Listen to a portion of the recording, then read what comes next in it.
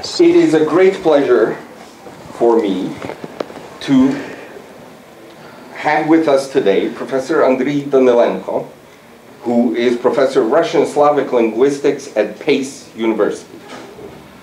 One of the remarkable things about Professor Danylenko is that he's a, a traditional old-fashioned Slavic linguist, which from what I can tell is a, is a disappearing field That's only that's only part of me, you know, honestly.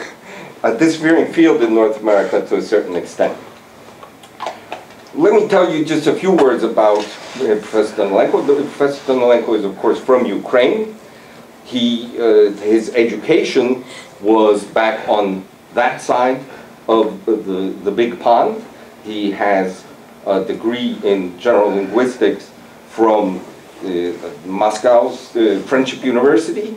He also has a degree uh, from Kharkiv University, and he is a most prolific, most prolific author.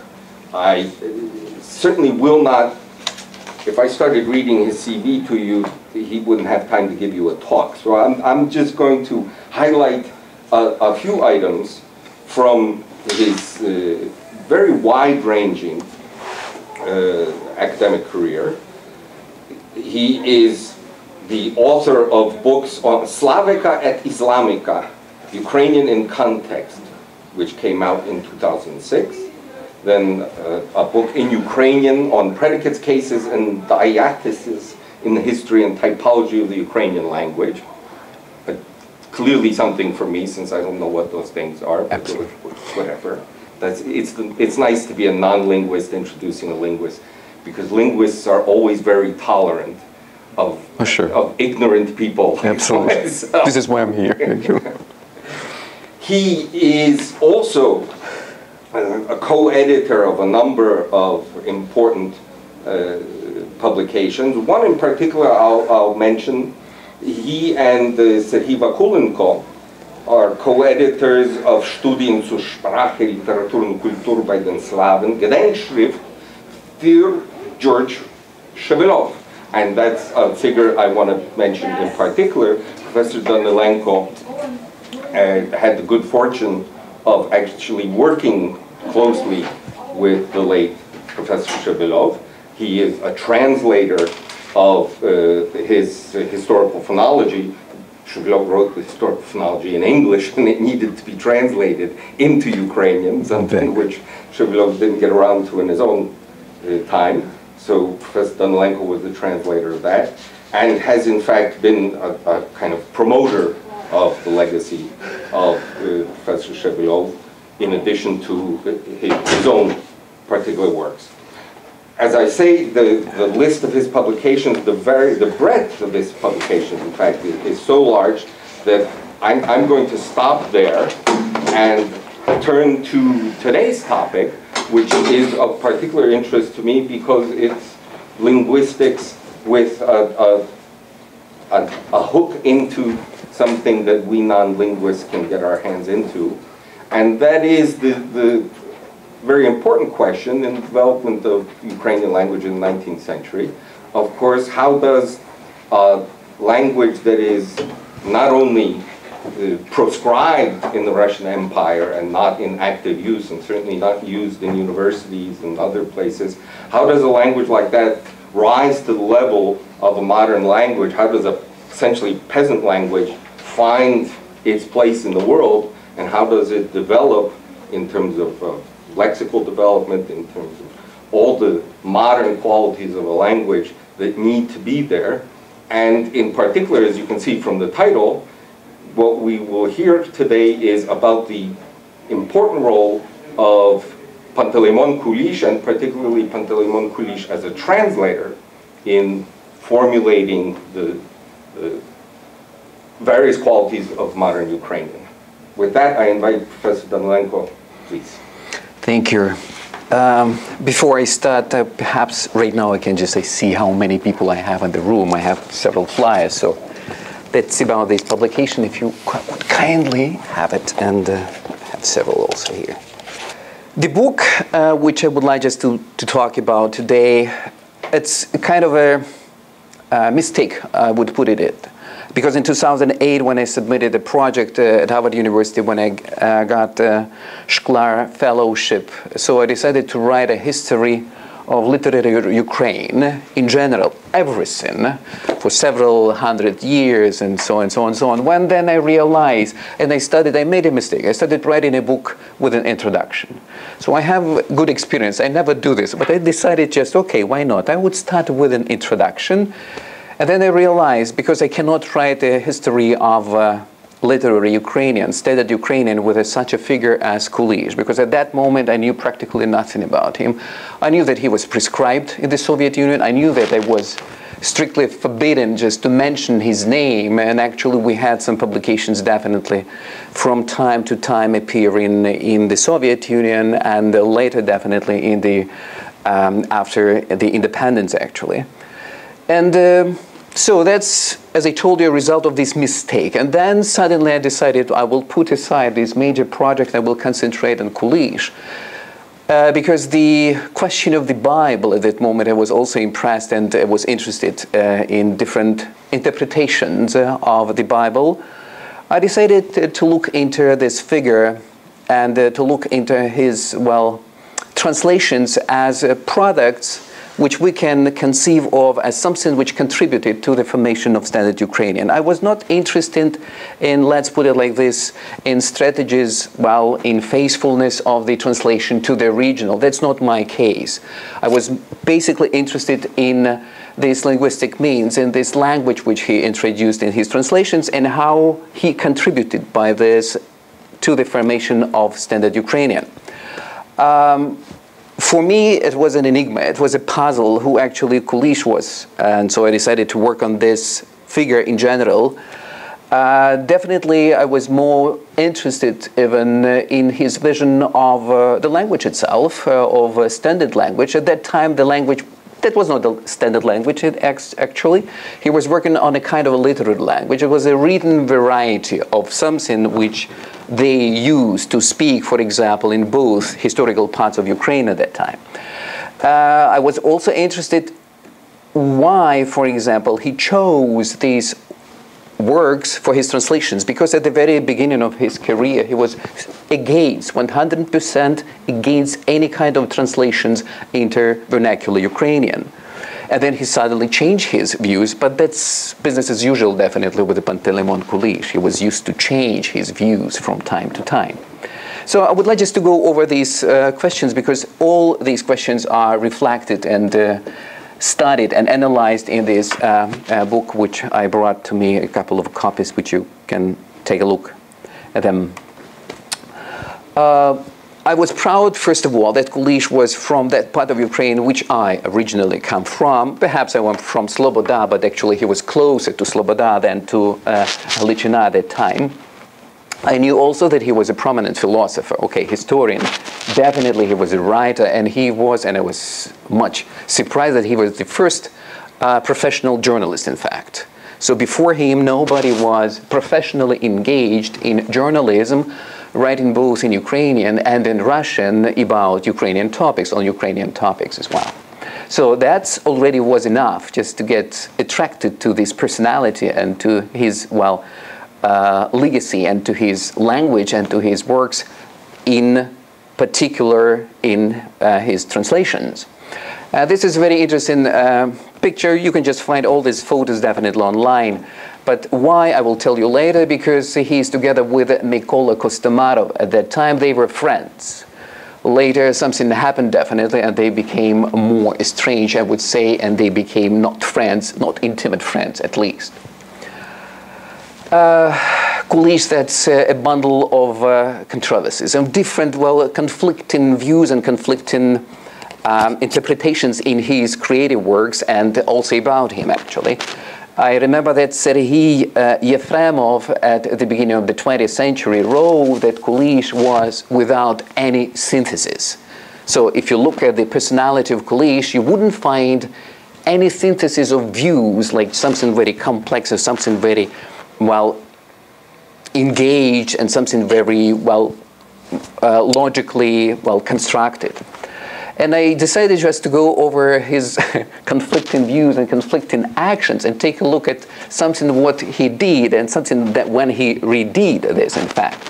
First of all, definitely he was a partisan of Ukrainian culture, language, and legacy, everything which was connected with the Ukrainian people and uh, their history and so on and so on. And he was fighting for a full fledged language. Actually, that was his major objective to create a full fledged standard Ukrainian at that time. Okay, it, we can conceive it as a kind of a literary language.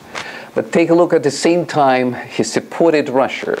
I mean, he supported the empire in terms, for example, of uh, Peter the Great, Catherine II, and all these interesting, well, controversial, I would say, mm, views. You can just find them in his uh, work, two-volume work, uh, The History of the Reunification of Rus, which appeared in 1874-77, when he became so much disillusioned with the different reviews of his compatriots in both parts of Ukraine, negative reviews. So he just simply decided what I am doing with them because they cannot understand my works, they cannot appreciate my input, they cannot understand my contribution to our national revival.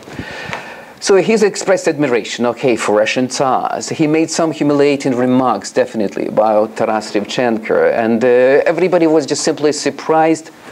Everybody was scolding him.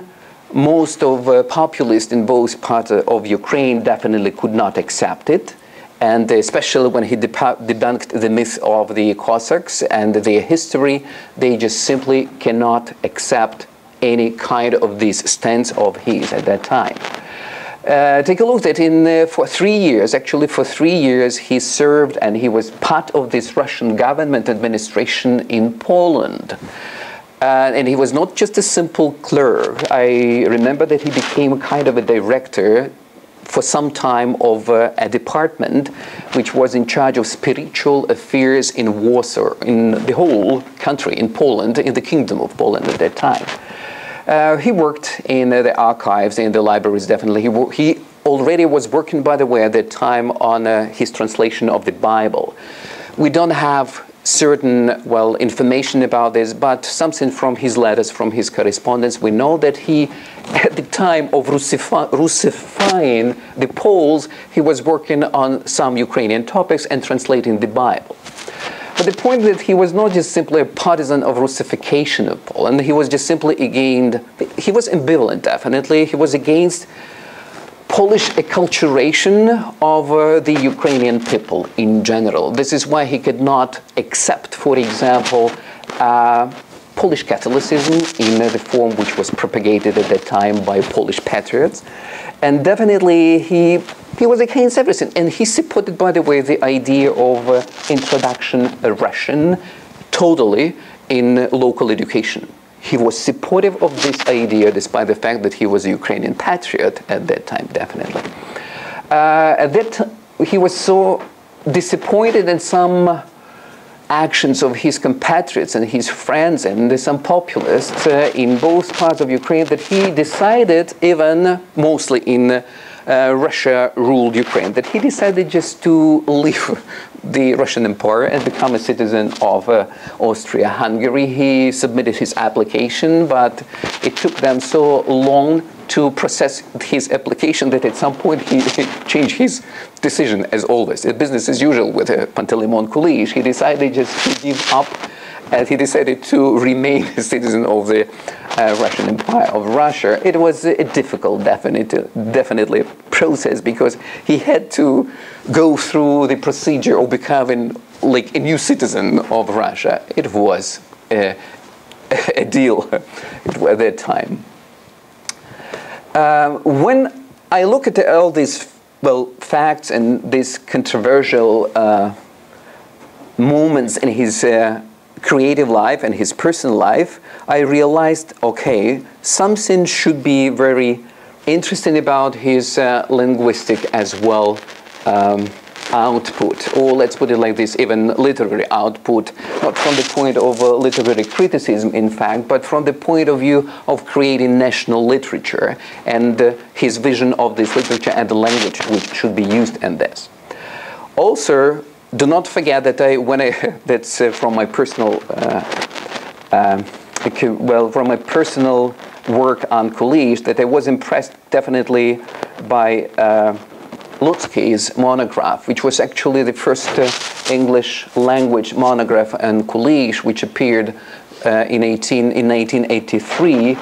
And uh, I liked the book when I just read it, well, when preparing for my work on Kulish, and especially was impressed that the book was read by George Y. Shevelov at some moment. So that's a high quality monograph, despite the fact that it was written here without access to all these archives and all these well documents and uh, manuscripts and protograph and so on and so on. And when I started working on this in 2008, I was so happy to find that Nakhlik Yevhen at that time published a two-volume monograph uh, uh, on Kulish, uh, which is a fantastic source of information of uh, bibliographical items, references, uh, names, uh, well, dates, and so on and so on. You, you can just simply can refer to this book, and you can just find everything which you are looking at least about Kulish and his work and literary output. Uh, take a look at uh, when I realized uh, that Kulish is so pe peculiar normalizer of the Ukrainian language. So take a look at some of uh, those points in his program. First of all, his model or his program was quite positivist at that moment. This is why they could not accept it by default. In Kharkiv at that time, they still have they still have this romanticist. Still, the tradition of this Kharkiv romanticism was so powerful at that moment, predominant at that time. And uh, the younger generation of Galician populists could not accept it as well because they were in their own framework, I would say, intellectual, literary, and uh, uh, so they, they cannot just easily switch to the model proposed by Kulish. Believe me, he was far ahead, it seems to me, Kulish, even not only in comparison with, uh, for example, Kostomarov, I will tell you, or Fedkovich, Ivan Nechui-Levytsky, uh, I have to admit this, and even Ivan Franko. At least on the material of uh, translations, uh, some translations of Shakespeare. And definitely, his view of uh, the creation of literary language was unique, unique at that time because he wanted to use as many dialects as possible and uh, consider as many chronological layers in the history of language as possible. And believe me, practically nobody was ready to accept it at that time. Uh, take a look at uh, some uh, most uh, famous translations uh, by Kulish, also in together with uh, Pului, which I studied well and which I well worked with them. First of all, uh, I like the first publication, which is the so-called Pentateuch Musievi, if I'm not mistaken. Yes, this is how looks this uh, title page. Святе письмо, п'ять книг Мусієвих, but in general it is called Pentateuch uh, Musievi. A, phen a phenomenal, it seems to me, translation of Job Iov. I like it. I, I can read it once again and again. I'm not, uh, well, a, a, huge partisan of poetry in general, but when you compare this biblical, well, book with the translation of Kulish, you see a phenomenal approach which is not typical of the translators at that time. Psalter або книга хвали Божої, which appeared in 1871, and uh, I will skip the next position, uh, and as you see in co-authorship with the Pului, he translated four Gospels, and uh, here you see these different uh, publications, uh, separate publications of some of those Gospels. Then together they appeared in 1880 and several editions of this publication. Finally, there's the Bible, which is available, I guess, at the local library everywhere. The Bible by Kulish and uh, Pului. But what you don't know and you've never read about it, I know that even in this collection of uh, the works of Kulish, they are not including this. This is the so-called Ustihotvorena Biblia, the versified Bible, which Kulish created, and he translated at least several books. That is a unique phenomenon at that time. I know that right now we have some versified versions of the translation of the Bible, but when he did it in the late 19, 18 80s, uh, before his uh, death in 1897. He was still working on this. This is a, a very interesting interpretation of the translation of the Bible. Uh, I if we have some people from Galicia or from Halicina, definitely they would tell you that Kulish is not that much unique personal per, persona, so to speak, because uh, uh, Markian Shashkevich translated something before Kulish, and Kulish should not be treated as the kind of a pioneer in this well process. Definitely, Markian Shashkevich was the first one to translate something already in a kind of vernacular Ukrainian. He wanted to do this, and he translated several well parts of chapters from. Uh, uh, the Gospel according to Matthew and the whole, it seems to me, translation of the Gospel to John, which was published in 1912 by Wozniak, which we, well, which is interesting. no intrusion, so to speak, or editorial intrusion into this. Well, uh, translation was made by Wozniak, but still, it was too late. Listen, the translation was done in 1842. It appeared in 1912. So many years passed so many, well, translations already appeared. So basically, it, it's, it's behind. It's something left. And the language, by the way, is quite peculiar. They call him, they called this language, not Shashkevich himself, by some critics, Народный церковно-русский with the two S, русский язык, not русский, but русский язык, which is, as you see, just something the Russian church use Russian in this case, Russian church vernacular take a look if you would like just to see what's the point behind this language. If you're familiar with this, uh, uh, uh so Shashkevich on the left side column, if you look through the text, тих же днів прийшов Іоанн Креститель, проповідуючи в пущі іудейській мовлячи, покайтеся, бо це приближило Царство Небесне, той бо єсть, о яким повідає Ісая пророк, і таке і and so on and so on. And compare this with the translation of Kulish and Pului from this, well, edition of 1903. Того часу прийшов Йоанн Хреститель, проповідуючи в пустині юдейській, і лаголючи, покайтесь, наближилось бо Царство Небесне, це ж бо той, про кого казав пророк Ісая, глаголючи. Even if you're not familiar with the Church Slavonic, you can see the difference between the translations. First of all, Krestitel in Markevich, and you have this vernacular variety for the Ukrainian uh, uh, standard. Uh, you have Krestitel, definitely. Then you have propoviduyushi with a suffix, which is Church Slavonic suffix. And definitely you won't find this Church Slavonic suffix in uh, Kulish and Pului. You have only uchi, like laholuchi. And in, uh, for example, Shashkevich, you have klichushoho.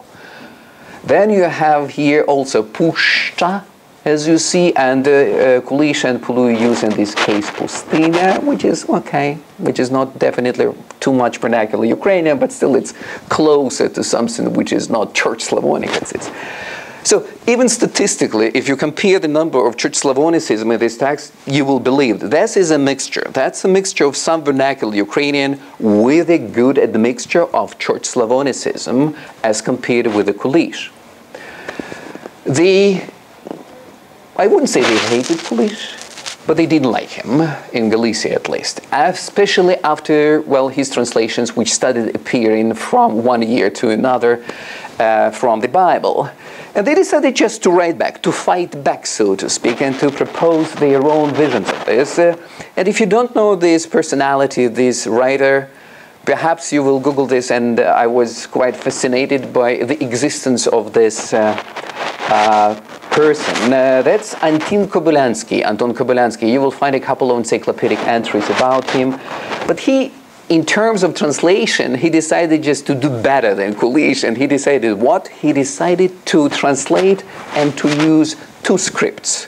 So he basically published two varieties, two versions of his translation of a couple of Gospels into Cyrillic and into his own by him invented Roman script. While you will see this. Uh, they claim, at least it seems to me that uh, Horbach, in one of his articles, wrote that perhaps he prepared this for immigrants going to North America. So because they were not that much familiar with a okay second generation or something with the Cyrillic, let them use, for example, the Roman variety of this, so to speak. And take a look what it looks like. It's it's phenomenal invention because that's what he invented on the right hand side. If you compare with the Cyrillic version, був за часов Ірода, and then you have on the right, був за часов Ірода. He is using some, by the way, Romanian characters. It is combination of different diacritics borrowed from different uh, scripts uh, because that's only just a sample. But if you look through the whole translation, you will see that yes, he is quite inventive in borrowing all these diacritics from different, basically Romanian and something from the Czech script. Uh, it's, it's, it's hard to read, by the way, in uh, this type of uh, Latin letters. Дневного ряду віього жінка well, we can handle this. this hard check. okay, it's used in scholarly transcription today, so basically, perhaps we'll figure out. But this is, do we need this?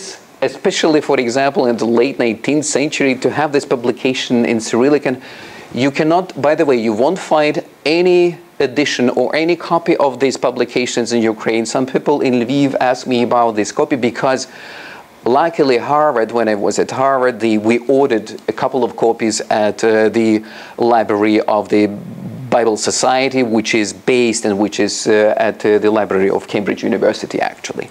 So we made this copy, so I have practically all copies, both Cyrillic and both Roman variety, so to speak, in my possession, and I sometimes borrow it to my friends in Ukraine.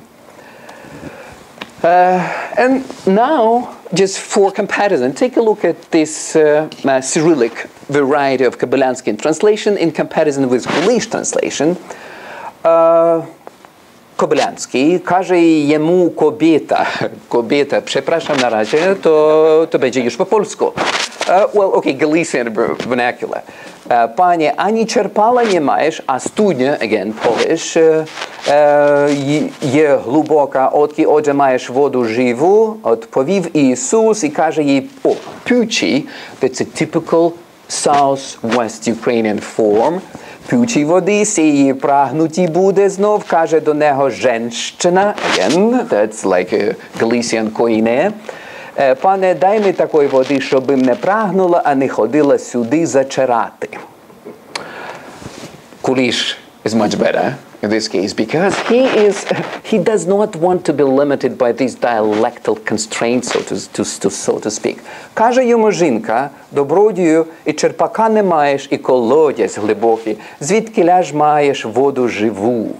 Listen, that's that's Ukrainian, that's vernacular Ukrainian, that's not exactly, that's not Sloboda Ukrainian, it's not even Chernihiv Ukrainian, that's something which we call Central Dnieper Ukrainian in most uh, of these features. Озвався Ісус і рече їй, всякий, всякий, хто п'є воду сю, забажає знов, каже до нього жінка, добродію, дай мені сієї води, щоб жаждувала. That's perhaps one of those dialectal forms which he used in this translation. What's very interesting, using his translations and publications, uh, he used all these uh, stress, stresses, so accents, so you know how to stress these words, at least in the late 19th century. Uh, and this is just a copy I made, as I told you, a copy of this versified Bible. That's two or three only books translated in verse. And um, this is one of those uh, uh, pages prepared by Kulish himself. He had a wonderful handwriting, actually. So, староруський переклад Святого Письма, Старого і Нового Заповіду, that's his version, and so on and so on. And Kulish Olelkovich Panko, that's his uh, nickname which he used in this case. And it was prepared, by the way, for the publication in Lviv, Zadohledom, as you see, by Mikhailo Pavlik, with whom he was very close at the end of his life. And Mikhailo Pavlik in Galicia and Bukovina ruled Ukraine was active at that time. So as you see, the translation of this versified Bible, that's, it's a fantastic text. Марно розум до початку світу хоче сягнути, сягнути. Бо й сам розум немовлятком у ті давна мусив бути, як на слово ж став багатий на спасенний дар природи, став взедемо вивождати всі коліна, всі народи. The only form вивождати, that's Church Slavonic kind of. We decided just to keep it. But this is, yeah, this is poetry. And this is the whole Bible which he planned to translate. I can even, it's so hard to imagine what a fantastic output it would be. And unfortunately, he died. I could not complete his translation. Uh, and several, well, the second part of my book, actually, part two in this book, deals with uh, Shakespeare. Why? I will tell you why, because it was so important for Kulish to make these translations. So, in total, take a look at the Ukrainian Shakespeare in uh, the interpretation of Kulish. So, we have translated, if I'm not mistaken, 11 or 12 uh, uh, works by Shakespeare, and according to some rumors, The Merchant of Venice and Cymbeline was also translated by him. And when these translations were were given to Tarnavsky the Junior at that time, they got lost it somewhere. But definitely, the widow of Kulish, Barvinok, wrote that Kulish had translated also those two plays. So these are just simply uh, uh, photos of these first publications, and uh, this is actually I'm using from uh, Nakhlik. I think would not be offended. I used it from his monograph. Why he decided to do this? Because he didn't like Cossacks.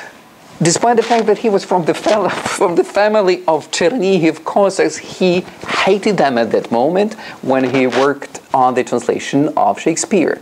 And he wrote about this, calling the Ukrainians people without any sense, honor, and respect, as well as truth in the letters, who were formed by heavy drinkers, chicken ears, and great brigands. And the author claimed that they had been saved from their ravaged national existence by their ancestors' language only.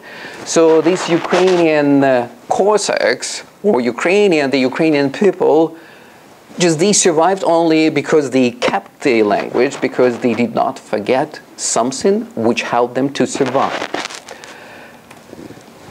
Uh, when he published, by the way, his first translation, and his first translation which was published, the only publication of Shakespeare when he, when he was alive, that's 1882, and only three plays were published, as you see, Othello, Troilus and Cressida, and Comedy of Errors in 1882. And take a look at those reviews, at these reviews. Omelian Partitsky, he was a personal enemy, it seems to me, of Kulish at some point because they were friends before that, but then they just simply, at least Partitsky just could not stand, could not just simply mention the name of Kulish and take his uh, critique. So, uh, Kulish used the lofty style and the natural language because Partitsky did not like, for example, velmi, so many times used, then duże instead of duże, fortuna, jechidny, jasuvaty, and so many words in nie, like svitkovanie. Okay, velmi, that's Middle Ukrainian form. Why he was complaining. That was not borrowed, by the way, from Polish. That was true Ukrainian form, actually, from the 14th, 15th century. Fortuna, okay, Yechidny, definitely, that's Russian Church Slavonic form, but, and I will tell you later why, why Kulish decided to, to use this. Yasuvati, that's a neologism we, from the word yasny, clear, transparent. So just Kulish just created a verb, yasuvati, to make transparent, to make, to clarify something. Anachronistic terms, take a look. Amen, no way. Otamanya, okay, we can think and we can debate this. Brona, and we'll tell you later, Brona instead of Brahma, Partitsky didn't like Brona, then Chvir instead of Chvoroba, Pocheski instead of Chesno, Partitsky did not know the word.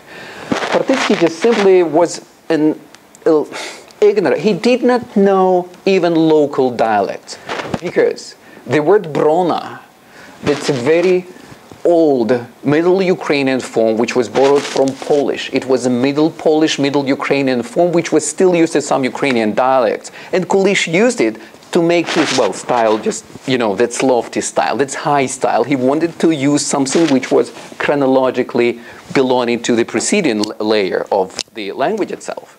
So he, he knew Brahma, but he wanted Brahma, And if you look it up, you will find this in still in these dictionaries today.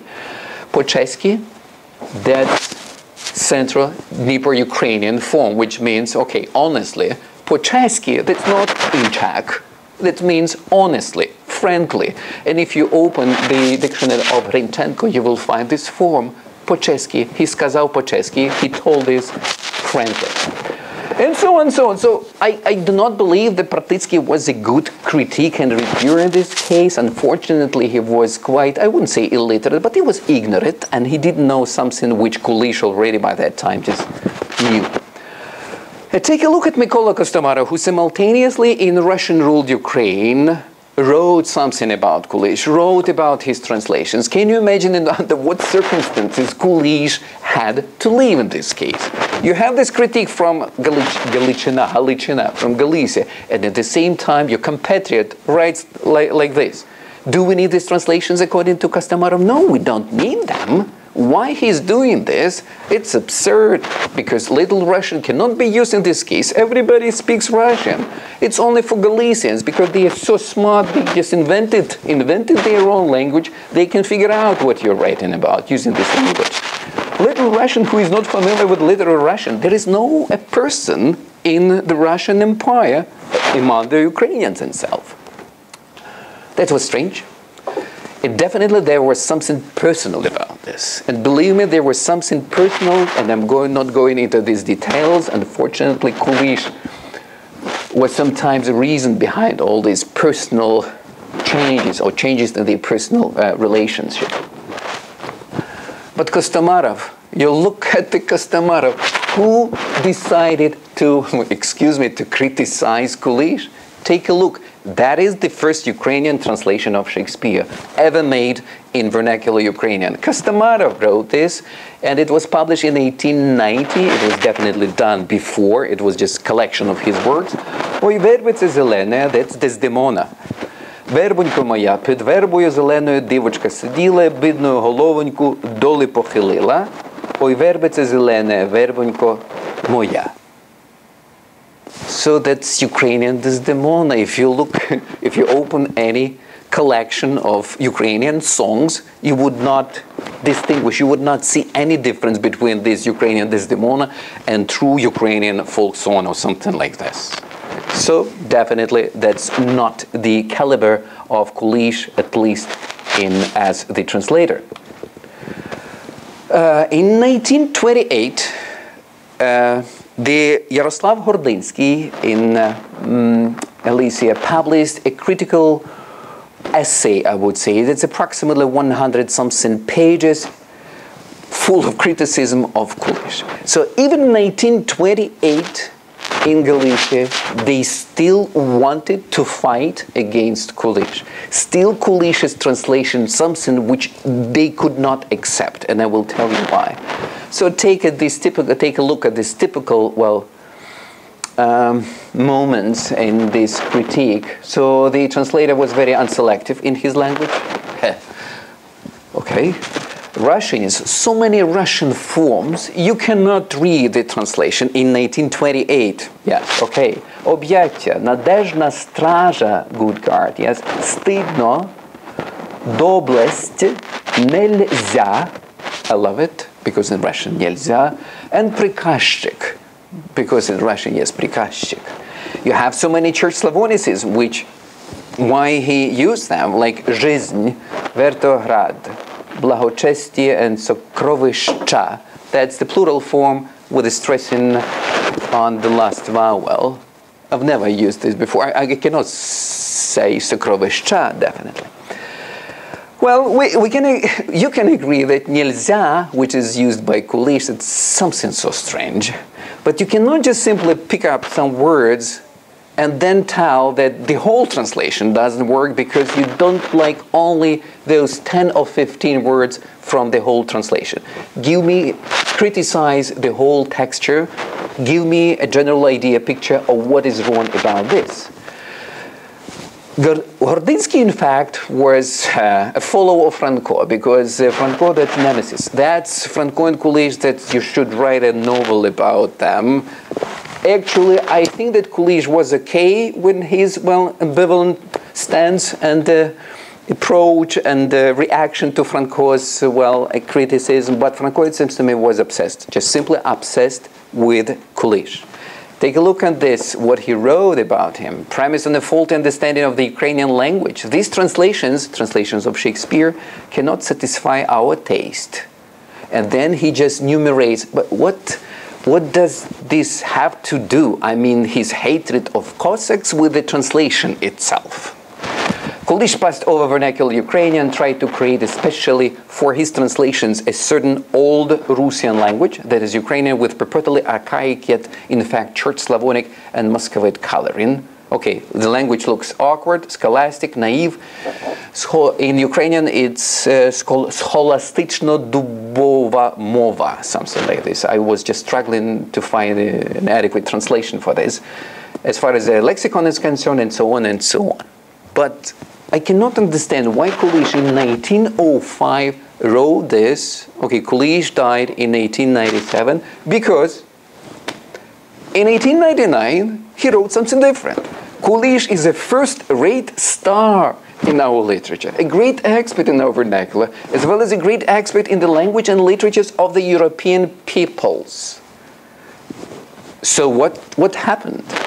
Something definitely did happen. So he switched just simpler positions. I, I, because that's from the introduction to Hamlet, if I'm not mistaken, and 1905, that's another introduction to another translation, because Franco took over editing all his translations after the death of Kulish. But, but Luckyj in 1983, take a look, he was just quite clear in his assessment. Kulish translations are in many respects unsurpassed even today, primarily because of the great linguistic virtuosity, especially in the light of the translations made by his predecessors and contemporaries. And this is perhaps the last example to show you that Franco perhaps was not entitled to criticize the translation of Kulish. Because Franco later offered his own translation of King Lear, and take a look at the translation. Left side. В, в мені та сама кров, щире серце каже ми, що також моя любов така, як і її, лиш втім моя сильніша, всі утіхи, всі розкоші життя, нічого для мене, моє єдине щастя, то любов для вас, мій Отче і царю. And take a look at Kulish. Z tohož metalu ja, and look at the original. I'm made of that self-metal. Okay, speaking about the faithfulness of the translation. Я й щось сестрице, цініть мене по ній, скажу від серця. Вона мов вийняла із уст у мене, як я люблю вас. Не сказала тільки, що я всіх інших радощів цураюсь, які не є в найвищій сфері чувства, і тільки в мене щастя, щоб любити вас, дорогі, величество. So the only which strikes you in this translation, I can tell you, velichestvo. So Kulish decided to use these for his loft, lofty style, for his high style. That's the only form which he decided to implement here. But look at this dialect-based, 100% based translation of Franco. You have these proclitic forms like me, which are not allowed in standard language. Silnisha, definitely that's a regional form. No ничего, okay. But I would like just to use something different in this case. Shastia, that's a typical okay Western Ukrainian form. I can accept it, okay. It's also Northern Ukrainian. We have this shastia as in, in, in Halichina. And для вас мій отче і царю. So he was speaking about church Slavonicism in Kulish, and he used отче plus Tsaryu. And do you remember Franco told him you use so many Russian forms? Unbelievable. Here we are. You have the Russian form Tsaryu, and you have Oche, the Church Slavonic form. And Kulish uses the Lichistvo, which is a neutral form, lofty style form, but still it is not well related to, for example, Russia or to old Church Slavonic tradition. Now basically coming closer to the conclusion, so what was the vision of Kulish in this case? The vision was quite simple. He wanted just simply to create something which was quite, well, called by him Starorushchina, which was so typical of Ukrainian, and he wanted to create something which they could be proud, like a legacy. And this is my last uh, uh, slide. If you take a look, for example, at the language program of Panteleimon Kulish, which was based on multi-regionalism, he was open to all dialects. He was cosmopolitan a kind of cosmopolitanism because he was open to any kind of borrowing from any language. By the way, he used kontentuvati from the Polish, okay, language. He used something even uh, from the English original just simply transliterating the form into Ukrainian. He was a, that was a synthetic vision of new standard Ukrainian. What was going on definitely in uh, uh, Ukraine, in Russian-ruled Ukraine, that was totally regionalism, yes. That was kind of parochialism, yes. And one homestead, they would fight for a language which is based only on one dialect. They could not accept, for example, forms from southwest Ukrainian. They could not accept some other forms which do not belong, for example, to this locale. Central Ukrainian, for example, area. Speaking about Ivan Franko, Franco was a kind of a Democrat, so he decided just to allow for the existence of multiple homesteads. So he was propounding the idea of many, many standard Ukrainians, as many as possible. So every single village could create a standard language according to Franco at some point. Kulish was against it. He was for one standard language based on all practically dialects, but it was just quite a synthetic view. And unfortunately, this synthetic view was just practically doomed because Kulish was not approved, was not accepted, neither either in Galicia or Russian-ruled Ukraine. They were based on this vernacular vision, only vernacular-based language. They were fighting for this. We know the reason behind this, definitely. But Kulish was so original, he created actually a third way. And this way, unfortunately, did not survive because he was so synthetic, nobody was ready at that moment to accept his synthetic view. And Shevelov, George Shevelov, in 1966, it seems to me for the first time, wrote about Kulish as a synthesizer of different styles, of different chronological layers in the history of Ukrainian literary tradition, let's put it like this. And he mentioned that Kulish was a unique personality, even as compared with Shevchenko. And I believe that Kulish is more original as Shevchenko in terms of the foundation or as founder of this new standard Ukrainian language. So the book is basically is devoted to those well ideas which I just well presented today. And uh, I, am not sure that somebody would be very interested in this book because who cares about the English, for example, book about this uh, maverick, Ukrainian maverick, I call him, yes, who created the personal vision uh, his personal language program, yes. But again, that's not about uh, translations themselves, that's just actually, yes, about normalization, about the normalization of standard Ukrainian at that time, and I hope that perhaps this book will find some readers in the future. And thank you very much for your time. Thank you.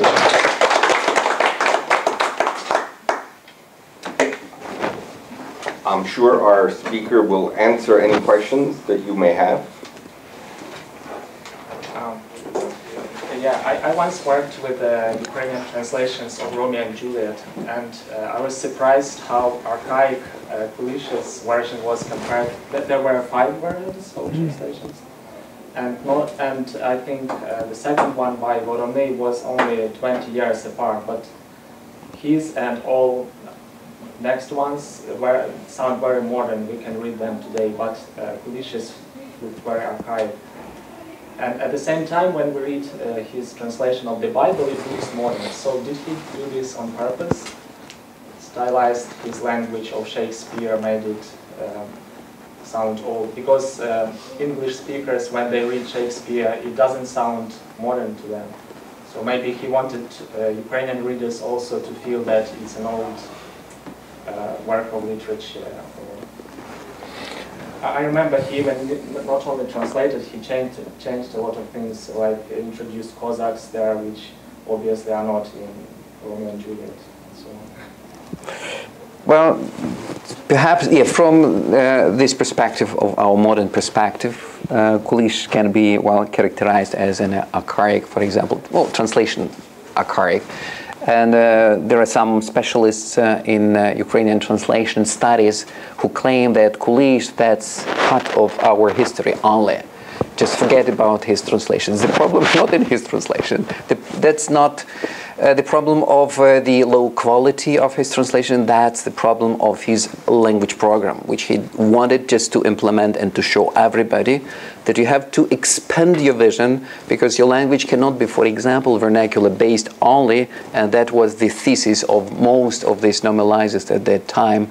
And he was fighting against them. This is why he decided to fight against the Cossacks, but still he was ready to use this terminology, for example, Cossack or Ottoman and so on, not because he liked them, because he wanted just to look into the history of the language and he was ready just to, to grab something from this layer, from this layer, and from this layer, and also in space, different dialects. So we're thinking about in terms of history and space. And our authors and Vorony were thinking only already in terms of space what was used in Central Dnieper Ukrainian, what was used in Standard Ukrainian in the 1920s. So he was ready to use only that. He was afraid of going, taking a step. It was perhaps too late, definitely, to change something for that purpose.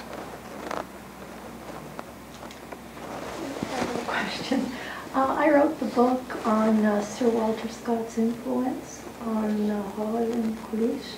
Hmm. Uh, I'm Romano Buddy.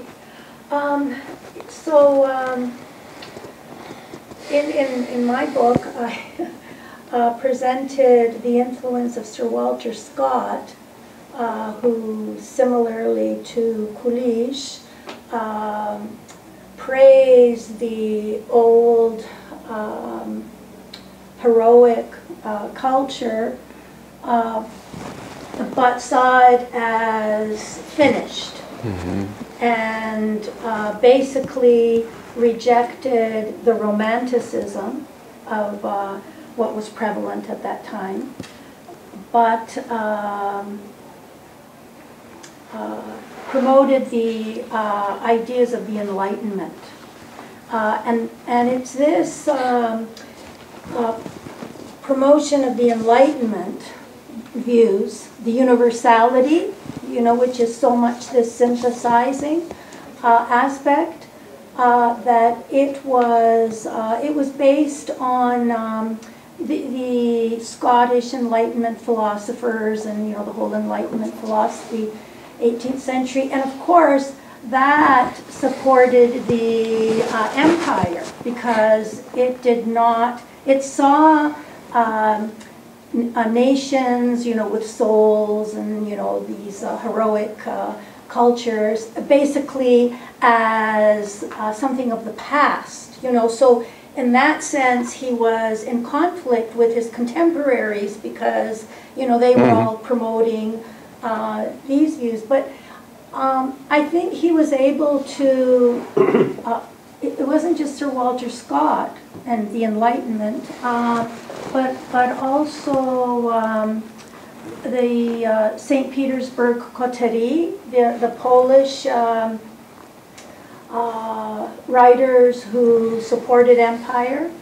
Uh, and there was a big influence on Kulish of uh, uh, Polish, especially in his childhood, uh, of some of the the families, the settled families in where he lived uh, and Grabowski, uh, writer, uh, also. So, so he had these Enlightenment views, and, and, and he promoted them. And, and uh, I, I think also because he was such a gifted linguist, uh, he, he went to the originals. Like my, um, my understanding is that he went to the actual original English. Yes. Yeah, so. He learned it, yes, he studied, picked it, he picked yeah, something yeah. English. Yeah, because um, he, uh, he, he was so uh, talented linguistically. I remember that, uh, you know, reading that Kostomarov and Kulish uh, would converse in Old Church Slavonic just for fun. You know, they, uh, so his. Um, yes, yeah, abso yeah, absolutely. Yeah, yes, you're right. And uh, this enlightenment, yes, that was just simply the foundation of his, well, plans of translation of Shakespeare, definitely. He decided just to grab Shakespeare and work with him only just to make sure that the Ukrainian people finally understands the mission, the universal mission of all peoples and uh, the Ukrainians in particular. He wanted just to elevate this level, the level of culture and everything else. This is why he debunked the Cossacks and everything which was related to this.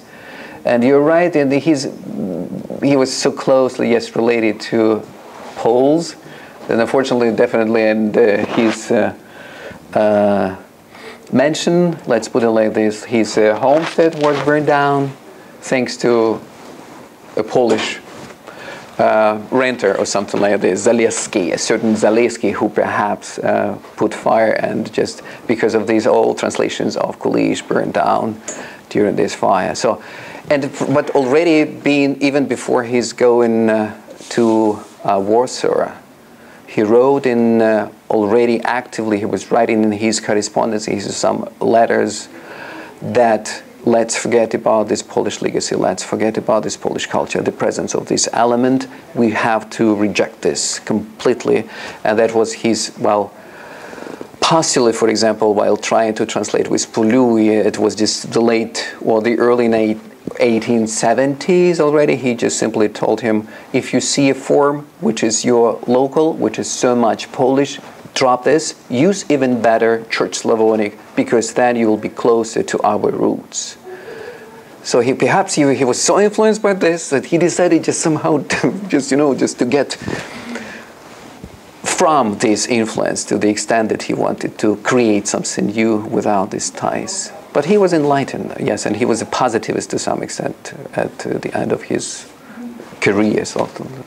Yeah, well, I mean, it was based on rational principles. Yeah, mostly. You know, so, mm-hmm. in that sense, the Enlightenment and, and the classical tradition overlapped with the positivism and, and realism, you know, and, and rejecting the, mm-hmm. the, the, romantic, uh, romanticist premises.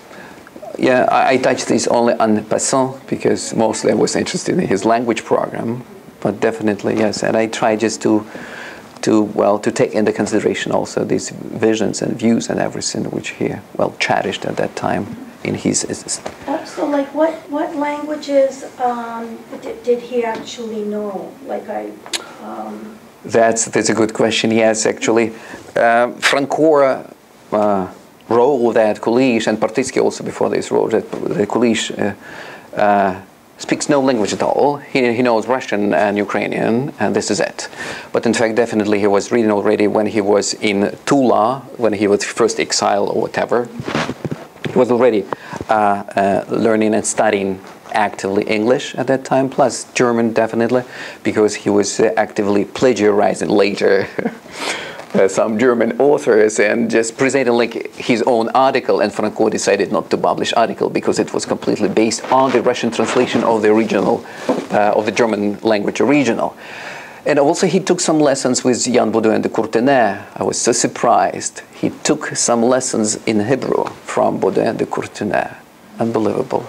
Several classes he took with him. And then he recommended him to his friends later in the, well, 1880s. Please take note that Jan Baudouin de Courtenay was good and he planned to write a grammar of the Ukrainian language and that was, well, Kulish remembered that Jan Baudouin is good. Unfortunately, some of his compatriots and some of his contemporaries uh, among the Ukrainian intellectuals considered Jan Baudouin de Courtenay at the end of the 19th century like, you know, uh, Russifier or something like this. Yes, before Baudouin became a true partisan of these independent nations and federalization first and then independent Poland.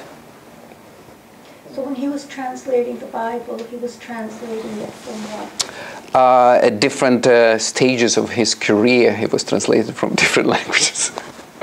At some point, he was translating definitely from Old Church Slavonic. Then he was using Hebrew, but only just not as the basic original, but only comparing this Church Slavonic with the Hebrew original. And he was definitely using at the end of his life when he decided to translate again the Psalter, and he translated again. Uh, he was using uh, the uh, and in my book uh, you have these references: uh, the French, the German, and uh, the, he called it Oxford translation of the Bible. Uh, so he called it. So he used at least three versions for only comparison, but he was using it with Old Church Slavonic mostly. If this was Old Testament, and for New Testament, he knew some Greek from Puluj and Puluj, although they became just, you know, not so close at the end of life, but at some point, Puluj, yes, was helping him with the Greek. Uh, You know, when I was in Ukraine in 1989 in the archive, the Bible uh, was there, that original, um, his writing. Uh, Yes, they have different, yes. It was um, there, yeah. Um, And, uh, but then, when I was there in uh, 2006 or 2007, uh, it wasn't there anymore. It is. Oh, it's still, maybe they've hidden it or something. No, I I made copies. Did you see these wonderful copies? Yes, Yes, uh, I ordered. I paid $500. I have these uh, copies. So they keep them mostly at the Kotyubinsky Museum in Chernihiv. The archive of Kulish is in Chernihiv. And then you have these translations and different copies and different witnesses of his uh, manuscripts also at the Vernadsky and plus at the Institute of Literature. You have it. But the actual original writing. Yeah, yeah. His own, in his own hand. Very neat. Oh yeah. Yeah. Uh, Did, did you see this? Yes. It's just very neat and very, you know, calligraphically, you know, 100%. Well, unfortunately. Embellished. in 89, there were no, uh, there was no digital, you know. uh, So, Yeah. Digital was there too, you know, so. Mm-hmm. uh, I was copying it. In fact, I, uh, Professor Luckyj had asked me, you know, like, uh, if I had any, uh, you know, how much I had copied, but I wasn't able to copy very much. Yes, absolutely. Without these devices and means which we have today, yes, it was absolutely possible. But that was a blessing for both institutes because they keep now copies which they made for me, which I paid for with my grant. So they have also copies, particularly of all witnesses and copies of uh, Kulish translation, at least at the Institute of uh, Ukrainian Literature and the Vernadsky, some, some of those. I'm, I'm curious, after Kulish's death, Dmitry Levitsky took over and completed the translation of, of the Bible for the Bible Society. Have you had an opportunity to, to look at those two texts and what do they do differently? Yes, yes, uh, I worked with this also. I also worked with uh, Nechui's translations, by the way, his own translations, which they keep at the Institute of Ukrainian Literature. So I compared actually the language programs and why, for example, Nechui-Levytsky is so felt so offended by all these intrusions by this Galician guy with his friend uh, or, uh, editor Alexiuk, uh, which just just slipped my mind. I mean, Puluj and his uh, uh, co-editor when uh, Kulish died. So yes, there were just so many misunderstandings between them uh, because they drastically changed it. Uh, not Kulish, as you understand. It was Puluj who made these unfortunate changes into his translation. Some of them definitely, he didn't like the script, he didn't like the orthography which they introduced, this typical Galician, well, uh, so definitely he was against it. And plus all these dialectical for, di- dialectal forms which he could not just simply accept.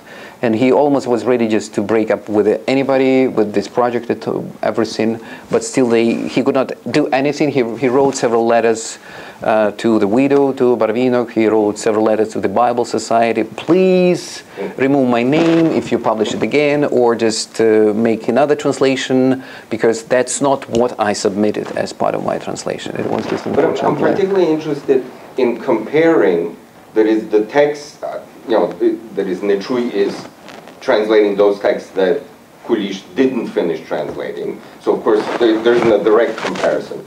But stylistically, in terms of the kinds of issues that you're addressing, word choice, uh, church Slavonicisms, mm, you know, uh, neologisms, how does Nechui's language compare to Kulish's language when, when he's translating the Bible? No, first of all, they there were several of them. First of all, they just simply divided the translation into several parts. And Levytsky took uh, three or four books, so far as I remember, and uh, Puluj took over this, uh, and then uh, they used the translation of Kulish uh, for those uh, uh, books. So basically, they were just simply copywritten, in fact. So Nechui-Levytsky did not complete what was not done. They just simply were doing and done, did what they were supposed to do.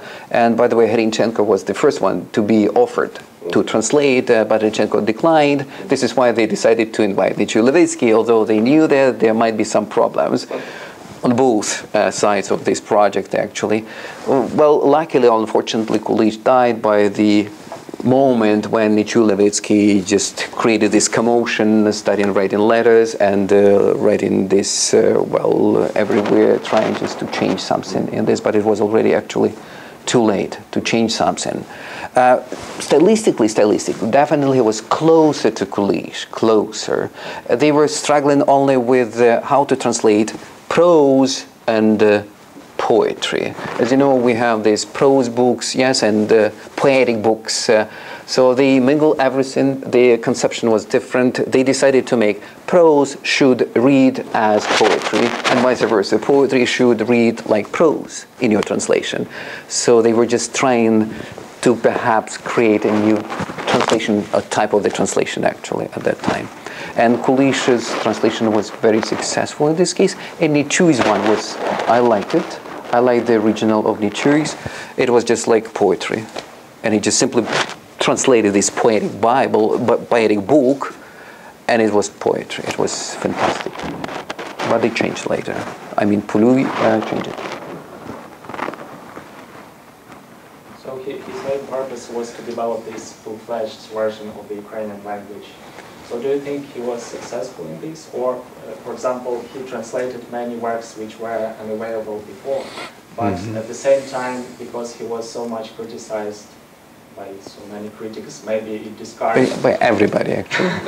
Only Maybe- two were. Maybe on the contrary, it discouraged educated people from the Ukrainian translation because of this Dubovy style, and they continued reading Russian. So there were only, if I start with the end of this, so there were two or three positive reviews uh, published in Vestnik Evropy, reviews of his two public two translations of different uh, books and different varieties and versions of this translation. So not only negative, for example, reviews definitely, and he wanted not to create not only the full-fledged language because he was aware of this task. You cannot just create the whole language. He was trying to create two types of the high style, which is first the, bi- the biblical style, and the second the circular high style, because you need this. Because for the Ukrainian people, he believed for this enlightenment, you need the translation of the Bible on the one side, and on the other, the other, for example, side, you need a translation of Shakespeare and some other classical works available for translation in, in Europe at that time. So basically, he created two styles. Unfortunately, they, they were not accepted due to different reasons. When Kulish is working on Shakespeare, is he consulting Russian versions of Shakespeare? That is, and, and how would they compare? Have you made this comparison?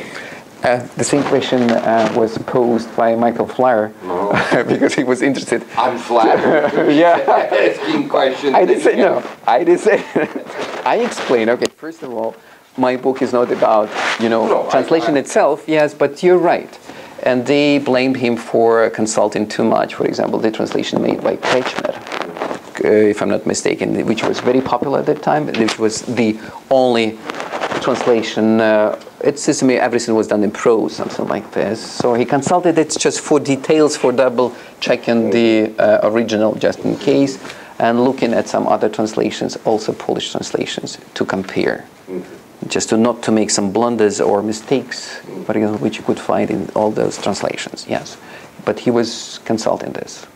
And, and do we see influence of, uh, of those translate, that is other than, that is checking details, that is making sure you understand what Shakespeare is saying, that on one level, but do we see linguistic influences? Does he adopt lexical forms from, from the Russian? That was not part of my project You- you because I to look at wanted just to look at his translation as a product. Mm-hmm. So I was not interested in where he borrowed this product or that bor- uh, product. I just look at this at the phenomenon, okay, like a literary text or literary text. For me, that was literary text, which uses this and that, for example, variety of literary language. I, you cannot guarantee that he didn't use because you have so many Russian forms, you have so many Russian Church Slavonic forms, and at the same time you have so many French and German uh, well borrowings that it's so hard just even to distinguish possible influence in this case. But he was ready to implement, he was ready to borrow even Russian forms to make it more synthetic from this side and Polish from that side, more, making more synthetic, that perhaps he might have borrowed some forms already used by some Russian, for example, translators. But uh, this is what, for example, Franco wrote about his plagiarizing uh, from, for example, some Russian, for example, texts, which I don't believe is true. So if you find my book interesting, you're just welcome just to buy the book. Uh, you have a discount of 30%. and it would be, So how much is the book? oh, don't tell me, 80, 89? But perhaps library, at least your library can just order a copy. No, the discount is 30%, so off. So it would be 59 perhaps. 59, I guess so. I'm not good at this, I just extrovert. I know myself. I have my 10 copies, which I have just to go to, to give to my sponsors, two sponsors, and then mostly just something to Europe, definitely to Poland. They asked me about some Ukraine for two, three libraries, and uh, some other perhaps colleagues which would like to, who would like just to have these copies. So besides you and uh, Nakhlik, who else is working on Kulish? Uh, it looks like uh, Luckyj, yes. Well, mm, know, but yes, but Nakhlik, yeah. yes, yes, and Nakhlik, but this is not about his language. It's about that's like scientific or scholarly biography, right? We call it. But but, I mean, uh, he doesn't seem to have generated uh, interest, uh, you know, in terms of uh, research. That's why what I'm asking. If- Who else is there? There is uh, a group of Ukrainian linguists who work on this, but still no book, uh, no major work on the language of Kulish. It's, it's so strange. For so many years, we still don't have it. So basically, that's the first one about his language. And what about his uh, uh, translations of, uh, uh, you know, influences through Walter Scott? There's nobody, I didn't see any relation to Walter Scott in some other articles published in Ukrainian in Ukraine because practically I worked with all possible bibliographies, references uh, related to Kulish. I didn't see anything from on this. There is nothing like this. And again, it's a pity that uh, these uh, are collection of works prepared by Krytyka. They do not include any type of witnesses and copies which I use, so they just simply re, uh, well, reprinting the edition of Shakespeare of 1882. So far, that was assured by uh, the editor, the principal editor of this publication. They are not ready to work on all other copies or some other translations. I don't, I don't think there are the people to do it yet. They wanted, yes, they invited even me, but I told them I'm very busy and I would like to join, for example, at some point, but mm, perhaps already too late. I think that, that's one of Kulish's major problems. The reason there isn't a good edition of Kulish yet is because the people who would produce a good edition Well, exist. yeah, no, Fedoruk, yes, that's the only, it seems to me, promoter of this project, and he's doing practically everything, all these notes, comments, and it's all on him. You- need at at least 100 graduate students working on it. Yeah, perhaps, yes, it would be much, much better. But still, it's, it's a great project, it's fantastic, yes. Thank you very much for your Thank you. presentation. I think you've stimulated a good deal of interest in Kulish, and may- maybe we will generate some more scholarly work on, on Panikov. Thank you very much. thank you very much for also coming.